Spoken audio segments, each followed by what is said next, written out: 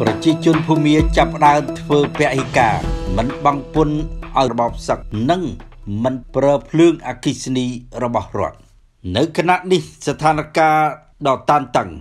នៅក្នុងប្រទេសភូមាកំពុងតែពុះកញ្ជ្រោលយ៉ាងខ្លាំងសង្គ្រាមស៊ីវិលផ្ទុះទូទាំងប្រទេសការវាយប្រហារដោយក្រុមកម្លាំងប្រជាជន ប្រឆាំងនឹងរបបសឹកកើតមានគ្រប់ច្រកល្ហកនិងគ្រប់ស្ថានភាពទាំងអស់ កម្លាំងស៊ីវិលរបស់ប្រជាជន ដែលកើតរូបរាងឡើងក្រោយពីការបង្កើតរដ្ឋាភិបាលឯកភាពជាតិនោះត្រូវបានរាយការណ៍មកថាទទួលបានការចូលរួមយ៉ាងខ្លាំងពីប្រជាជន នៅគ្រប់តំបន់ទាំងអស់នៅថ្ងៃនេះសេចក្តីរាយការណ៍របស់សារព័ត៌មានភូមាជាច្រើនបានចុះផ្សាយថាក្រោយពីសម្ព័ន្ធភាពកម្លាំងប្រឆាំងនឹងរបបសឹកបើកយុទ្ធនាការនៅទូទាំងប្រទេសដោយ សូមឲ្យប្រជាពលរដ្ឋប្រកាន់យកនៅភាពខ្លាំងរបស់ខ្លួន ចាប់ពីខែមករានេះតទៅ គឺងើបឡើងប្រឆាំងរបបសឹកដោយអហិង្សា គឺការសម្រេចមិនទិញផលិតផលទាំងឡាយណា ដែលផលិតដោយពួកយោធា ការមិនប្រើប្រាស់អគិសនីរបស់របបសឹកជាពិសេសការមិនបង់ពន្ធគ្រប់ប្រភេទទាំងអស់ ទៅឲ្យរបបសឹកដែលក្រុមបណ្ដាញប្រឆាំងនឹងរបបសឹកអាងថាជាការធ្វើពេហិការទូទាំងប្រទេសដើម្បីកាត់ផ្ដាច់ប្រាក់ចំណូលរបស់របបសឹកឲ្យរបបនេះកាន់តែលំបាកវេទនាក្នុងការគត់ផ្គង់បៀវត្សដល់ពួកមន្ត្រីយោធា និងមន្ត្រីរដ្ឋការក្រមអាវ៉ាត់របស់ខ្លួន។ កាលពីថ្ងៃអង្គាររដ្ឋាភិបាលឯកភាពជាតិនៃក្រមប្រឆាំងនឹងរបបសឹកបានប្រកាសថា ប្រជាជនដែលស្រឡាញ់ប្រជាធិបតេយ្យនាំគ្នាគ្រប់ឈរឡើងជាថ្មីម្ដងទៀតគឺមិនត្រូវបង់ពន្ធទោះបីពន្ធប្រភេទណាក៏ដោយទៅឲ្យរបបសឹកនោះទេ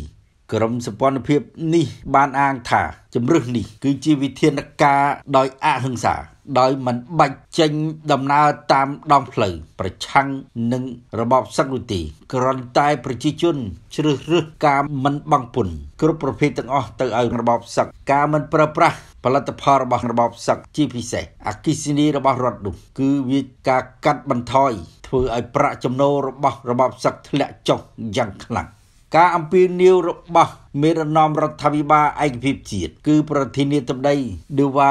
Lazila ត្រូវបានចាក់ផ្សាយតាមវីដេអូឃ្លីបនៅក្នុងឱកាសដែលលោកបានថ្លែងទៅកាន់ជនរួមជាតិភូមានៃទិវាឯករាជ្យជាតិខួបលើកទី74ការកត់សម្គាល់ឃើញថាចាប់តាំងពីរដ្ឋាភិបាលឯកភាពជាតិនេះបង្កើតឡើង នៅខែ ឧសភាឆ្នាំ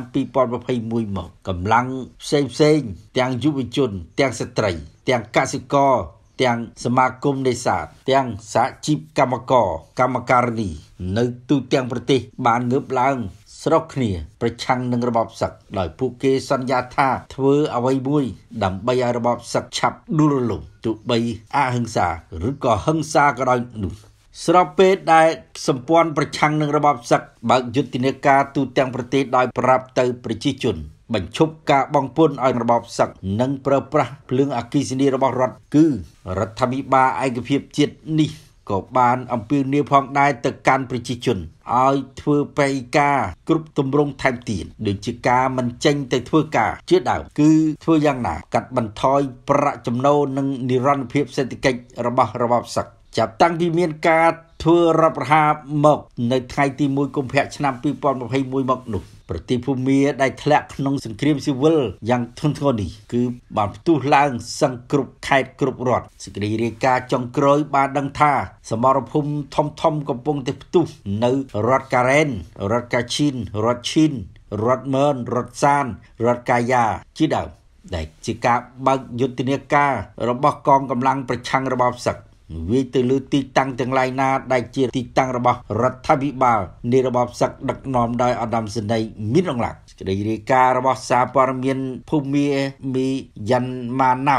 និងអេរ៉ាវឌីបានចុះផ្សាយថាទីតាំងជាច្រើនរបស់ពួកយោធា បានធ្លាក់ក្រោមការគ្រប់គ្រងរបស់កម្លាំងឯកភាពជាតិមិនតែប៉ុណ្ណោះកងទ័ពអដាមសេនីមានអង្លាំងប្រមាណជា10000នាក់បានមកចុះចូលខាងកម្លាំងរបស់ប្រជាជន ក្នុងនោះមានទាំងពីអនុសេនីយ៍ត្រីរហូតដល់វរៈសេនីយ៍ឯកមានទាំងអដំសេនីយ៍ទៀតផងប៉ុន្តែចាប់តាំងពីរដ្ឋប្រហារកើតឡើងមក របបសឹកបានសម្លាប់ប្រជាជនខ្លួនឯងដល់ទៅជាង1400នាក់ក្នុងនោះចាប់ខ្លួនជាង11000នាក់ គេពុំដឹងថាយុទ្ធនាការរបស់ប្រជាជនភូមាដែលមិនបង់ពន្ធឲ្យរបបសឹកនេះ មានប្រសិទ្ធភាពប៉ុណ្ណានោះទេតែយ៉ាងណាក៏ដោយប្រទេសភូមាបច្ចុប្បន្នដែលស្ថិតនៅក្រោមរបបសឹកនេះកំពុងតែរងការដាក់ទណ្ឌកម្មធ្ងន់ធ្ងរពីសហគមន៍អន្តរជាតិមុខចំនួនធំធំជាច្រើន ត្រូវបានព្យួរនិងលុបចោលជាពិសេសមុខចំនួនរបស់សហភាពអឺរ៉ុបសហរដ្ឋអាមេរិក សហរដ្ឋអាមេរិកនិងសហភាពអឺរ៉ុបបានបន្តដាក់ទណ្ឌកម្មលើពួកយោធាទាំងទណ្ឌកម្មបិទចរាចរណ៍ហិរញ្ញវត្ថុជាដើមធនាគារពិភពលោកនិងរូបិយវត្ថុអន្តរជាតិ IMF ថ្មីថ្មីនេះបានព្យាករណ៍ថាសេដ្ឋកិច្ចភូមិដាំក្បាលចុះយ៉ាងធ្ងន់ធ្ងរខ្លាំងមែនទែនគឺរយៈពេល3ខែចុងក្រោយនេះ ដែលធ្វើឲ្យចំណូលរបស់ជាតិសាសន៍មួយនេះបាត់បង់យ៉ាងតិចជិត50%ឯណោះ ប៉ុន្តែយ៉ាងនេះក្តីរបបសឹកភូមិនៅតែទួបានទំនាក់ទំនងពាណិជ្ជកម្មសម្ងាត់និងចំហខ្លះៗពីប្រទេសចិន និងប្រទេសមួយចំនួន នៅជាប់ព្រំដែននៃប្រទេសភូមាសម្រាប់ប្រទេសចិនត្រូវបានរាយការណ៍មកថាជាប្រភពផ្ដល់ជំនួយទ្រទ្រង់របបសឹកច្រើនជាងគេដោយសារតែប្រទេសនេះមានមុខចំនួនឈើហុបមុខចំនួនរ៉ែកត្បូងជាដើម តែនៅជាមួយគ្នានេះចិនដែលមានរោងចក្ររាប់ពាន់រោងចក្រនៅក្នុងប្រទេសភូមាគឺរោងចក្ររបស់ចិនក៏ត្រូវបានរាយការណ៍មកថាបានបិទស្ទើរតែទាំងអស់ព្រោះតែផលិតផលរបស់រោងចក្រទាំងនោះពុំអាចយកទៅកាន់ទីផ្សារអឺរ៉ុបនិងសហរដ្ឋអាមេរិកបាននោះទេការដែលរោងចក្ររាប់ពាន់ត្រូវបានបិទនោះក៏ត្រូវបានរាយការណ៍មកថាកម្មករកម្មការិនីភិជាច្រើនបានត្រឡប់ទៅកាន់ លំនៅឋាន ស្រុកកំណើតរបស់ពួកគេវិញ បានត្រឡប់ទៅកាន់ជនបទវិញដោយពួកគេសម្រេចបង្កើតជីវភាពតាមធម្មតាទៅវិញ គឺព្រោះតែពុំអាចរស់នៅទីក្រុង បានទៀតនោះទេគឺដោយសារតែ សង្វាក់ផលិតកម្មរបស់ពួកគេត្រូវបានព្យួរនិងបិទអស់ទៅហើយ មានការប្រមានថារបបសឹកភូមាអាចនឹងរងការដាក់ទណ្ឌកម្មយ៉ាងធ្ងន់ធ្ងរនៅដំណាក់កាលណាមួយ ដែលរបបនេះសម្រាប់ប្រជាជនកាន់តែធ្ងន់ធ្ងរថែមទៀតការដាក់ទណ្ឌកម្មអាចនឹងធ្វើឡើងដោយក្រុមប្រឹក្សាសន្តិសុខអង្គការសហប្រជាជាតិសហរដ្ឋអាមេរិកអង់គ្លេសបានរៀបចំឲ្យមានការដាក់ទណ្ឌកម្មហុំព័ទ្ធការបញ្ជូនអាវុធទៅកាន់ប្រទេសភូមា នៅពេលដែលមានការព្រមានថាការហុំព័ទ្ធសេដ្ឋកិច្ចអាចនឹងកើតឡើងទៅលើរបបសឹក